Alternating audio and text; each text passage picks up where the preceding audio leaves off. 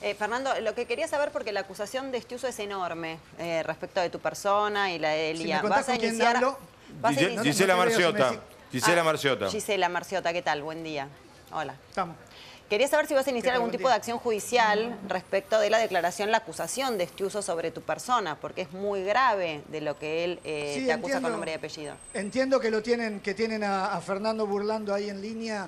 Seguramente, vamos a lo que está haciendo es claro, claramente grave, nos afecta, nos lastima, nos injuria. Imagínate cómo está mi familia, imagínate cómo están los, quienes me rodean por fuera del mundo de la política.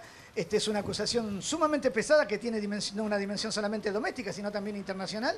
Y seguramente Fernando ya me ha dicho que vamos, vamos a emprender las acciones pertinentes. No obstante lo cual, la verdad que por propia experiencia yo no tengo mucha expectativa en De que que, pase el- algo. eh, en que en el seno del Poder Judicial se resuelva la justicia. ¿Quién crees que le da la orden a Estiuso de involucrarte a vos y a Delia, por ejemplo? ¿Y quién le dio la orden de volver al país a Estiuso?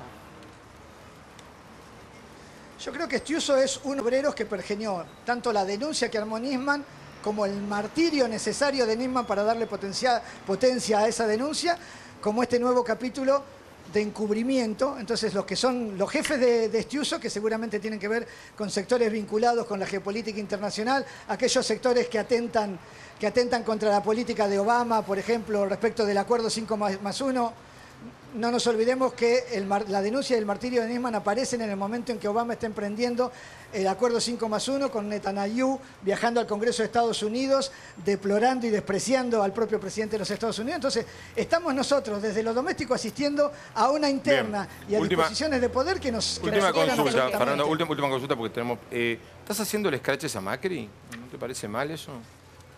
¿Cómo? ¿Estás haciendo el scratches ¿Cómo? a Macri? No te hubo, escuché. hubo dos scratches a Macri de quebracho.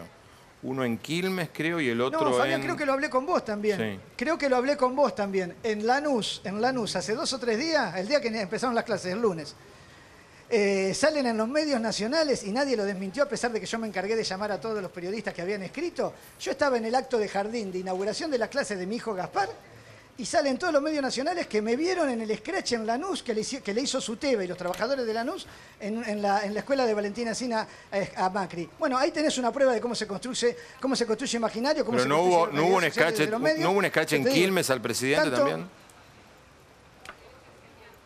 El scratch en Quilmes cuando, cuando salió en tren, sí, son eso, pero seguramente van a aparecer scratch, scratches, digo, manifestaciones con cartulinas diciendo no a los despidos y basta de hambre. Este, bueno. En eso, ¿qué, qué, qué- problema hay con eso? ¿O no tenemos, no tenemos derecho a poder... Sí, eh, no, por, por favor, a manifestarse, por supuesto, pero todas las que quieras. A mí me hacen ruido los scratches a cualquiera y más a un presidente, nada más que eso. Te hago comentario. Nada, eso. Hay que ver cómo, a qué, a qué definís scratch. Lo de Quilmes Cuando alguien está en un acto y no dejas que el acto tenga lugar. que decían, basta de... ¿Cómo? ¿Cómo?